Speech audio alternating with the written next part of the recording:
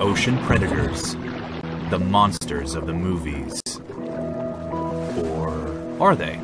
Can carnivores like sharks actually help us to protect the oceans and ourselves? To find out, scientists around the world have been tagging some of our ocean's largest predators. From huge tuna to all kinds of shark. These tags can tell us where these ocean hunters are going and when they are going there. The scientists then take that data and set up their online profiles. It's kind of like Fish Facebook. With tens of thousands of individual profiles already created, hundreds of thousands of days worth of data, and status updates from these predators, scientists are creating a live feed straight from the ocean. A real-time global map is taking shape, and it's revealing extraordinary things about our ocean's complex social network. The key migration routes of ocean travelers, where fish like Pacific herring go to breed and feed larger species on the food chain. Ultimately, this social network of the seas is pinpointing parts of the ocean that matter the most and need the most protection. Important coastal ecosystems, like the mangroves and seagrass of the Bahamas, are just one.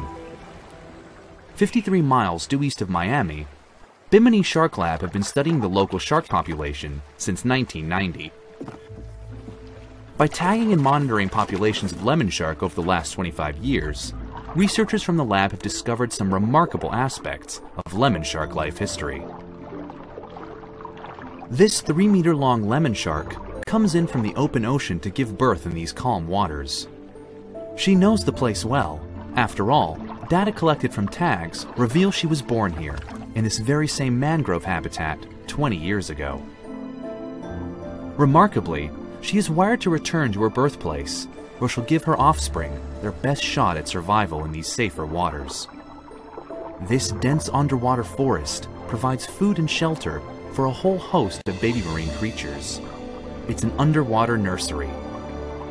These babies will go on to see the oceans and coral reefs with marine life for generations to come. Sharks are crucial in maintaining this mangrove ecosystem. Through the shark's presence and resulting intimidation of grazing species, they can actually regulate the feeding behavior of their prey.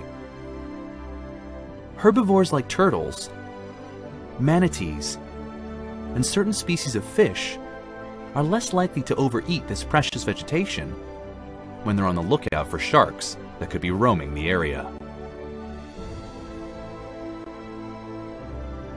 So how do these sharks help humans? These mangrove ecosystems also serve as a vital defense against hurricanes. They decrease the force of powerful waves as they hit the coastline during storms. Just by swimming, sharks keep these coastal mangrove and seagrass areas healthy and strong, maximizing our own storm defense when hurricanes hit our shores. We know all this because of the tagging technology that helps us to understand our oceans and the importance of preserving ocean habitats. If we make sure this shark has a nursery to come back to, we give our oceans, its marine life, and us the healthiest social network.